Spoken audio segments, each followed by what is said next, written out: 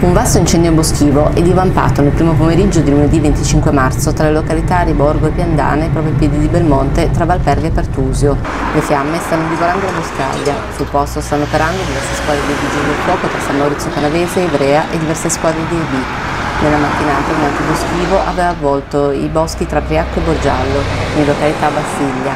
Sul posto i vigili del fuoco di Cornier, Ivrea e diverse squadre di EB. In entrambi i casi l'ipotesi di dolo è quella più accreditata.